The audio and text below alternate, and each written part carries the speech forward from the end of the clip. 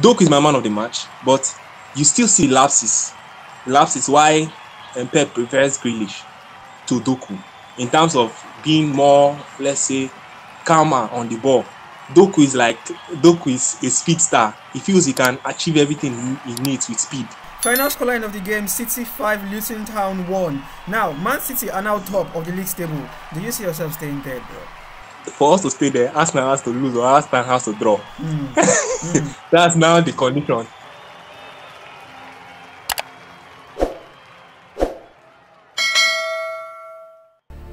Excel, City have completely swept Luton Town aside. I'd have called it a clean sweep, but Ross Barkley got himself a goal. So it is not a clean sweep. Yeah, you just simply yeah. swept them aside. 5-1 the final scoreline of the game. And Gvardiol with the final goal. It was really amazing. Although um, the person I will blame for that goal was Nunes. Um, Nunes had a one-on-one chance with the goalkeeper. He just stumbled and fell. That was the same thing that happened before we we had we considered this goal.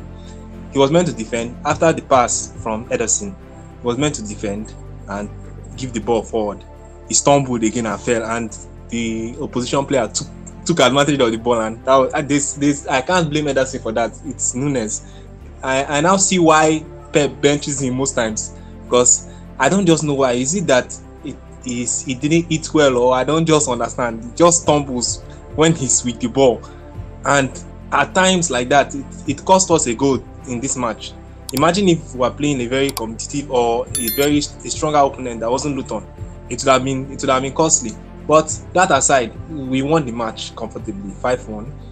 And I, like I would say, Doku, Doku, Doku was really exceptional. Did you see his goal? It was just a solo. It was almost like a solo effort. He displayed yeah. exceptionalism, and also let's also talk a, a little about tactics. Pep Guardiola, um, the game saw it was a game of patience you were patient. You tried yeah. to build up play in the first half. You were one or one nil up in the first half, but they kept a low block, so it was difficult for you to break successfully.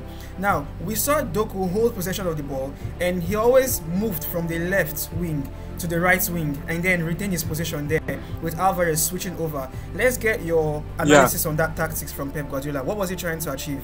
Most times, just like I've said, for teams who haven't been able to score, they have been playing low block. They have been playing compact and it has been it has been troubling Man City. So that was the best way. Because if we are if we are being sincere, on the left wing, I've forgotten the name of the defender. He, he, he gave Doku a run for his money. He practically was was following Doku up until Doku was able to find that um, this in penalty that Haaland um, scored because he was the one that created the penalty.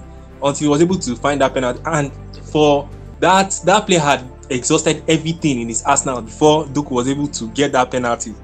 Doku practically it was there was no argument when they gave the penalty because it was so obvious.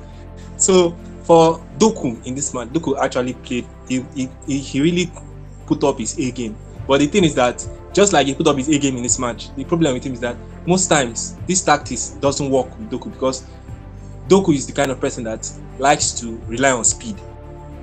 Speed and due to that, while Grealish, Grealish works with drive, Grealish drives in, then he creates, he passes. Some of the passes that Doku creates, it's just like he doesn't meet the finishing touch.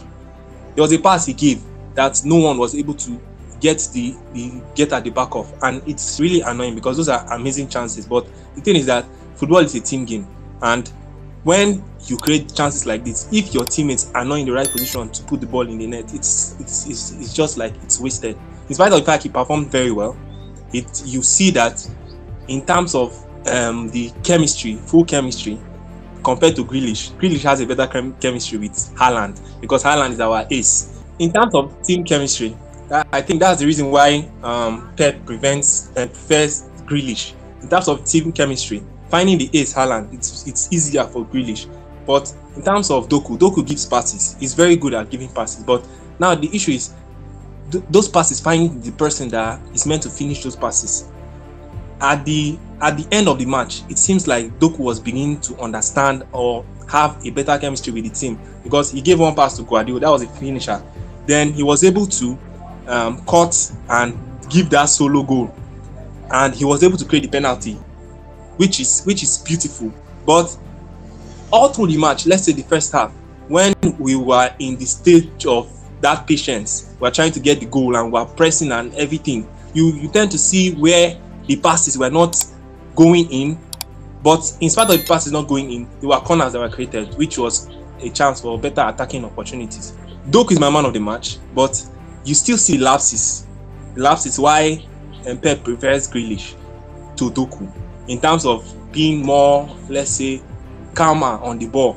Doku is like Doku is a speed star. He feels he can achieve everything he, he needs with speed, and for some defenders that doesn't work. The defender that is calm, calm-minded, he will take the ball from you, and that's the end of the season. And City plays high press. That's a big problem for City.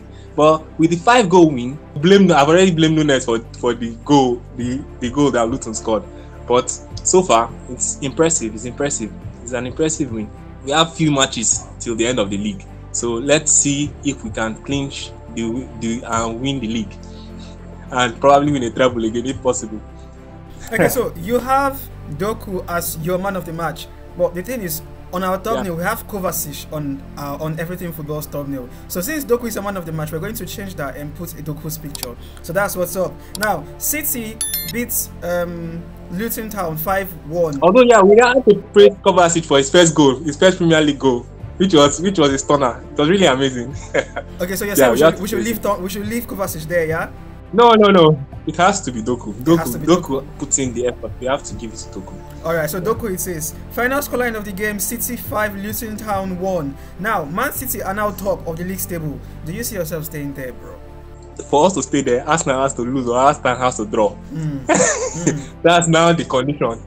That's the condition. But we hope to win the league. That's that the because there's no way with the the compactness of matches. You have cities in the UEFA Champions League, and with the compactness of matches, it it is it is inevitable that someone will drop points. But I'm praying that it's not the City. I'm definitely praying that it's not the City because City has has has gone on an unbeaten run for 26 games. So I'm praying it should not be City. But with the compactness of UEFA Champions League, FA Cup, and the Premier League, yeah, it, it is inevitable. Um, we just hope for this kind of performances so far. But in terms of defensive lapses, we, we just we just need to work on it because in matches that have team of the same quality like City, it will cost us games. 5-1 it is, and I, I'm very happy with Man City's scoreline. Although it seems like they were able to hold us throughout the first half. All the four goals came in the second half. Just like you said, patience paid off. Alright, patience paid off. 5 on the final scoreline. City are currently the league leaders. Let's see how long they're going to stay up there for. Give a like to this video. Smash on the like button. I want you to subscribe to Everything Football. Yeah, we give you post-match reactions, we give you prediction shows, we give you news, transfer news, and updates. Kindly hit on that subscribe button so you're going to get to see our videos the moment they are released, and we want you to be part of our community. Until next time, I'm Otis. This is Alpha Excel. It's always a pleasure to have you on the show, bro. It's always a pleasure to talk football. We have been winning and I'm always happy to talk about it. That's it from us. Bye for now.